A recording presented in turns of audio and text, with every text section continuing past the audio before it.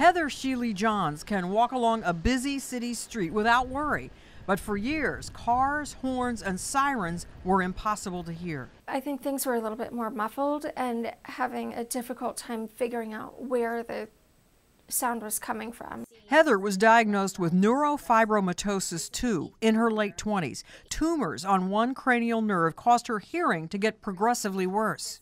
Losing hearing at that age can be very traumatic and very isolating. Dr. Jaishri Blakeley is an expert in tumors of the nervous system.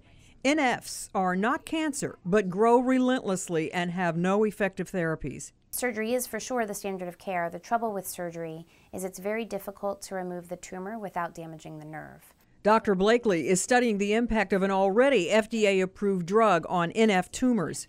Bevacizumab is given intravenously every three weeks for 30 to 60 minutes. The drug shrinks the blood vessels near the tumor, making the tumor smaller.